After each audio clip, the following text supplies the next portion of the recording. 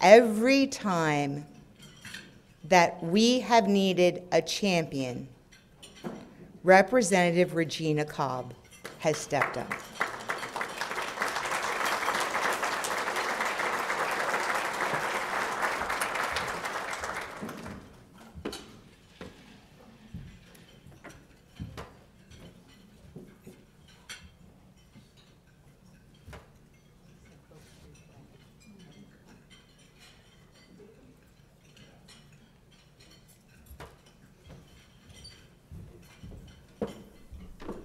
In addition to being the Appropriations Chair in the House of Representatives at a time when we were having very significant discussions about everything from water to education to driving innovation forward, not only did Representative Cobb step up on those issues,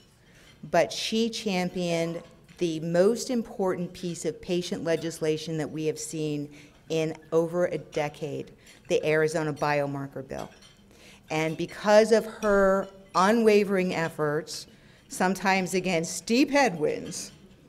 um, here in Arizona, if a physician determines that a patient needs a biomarker test so that they can properly treat their disease, insurance is going to cover it if that patient has private insurance or Medicaid and that and state insurance, and that is thanks to Representative Cobb.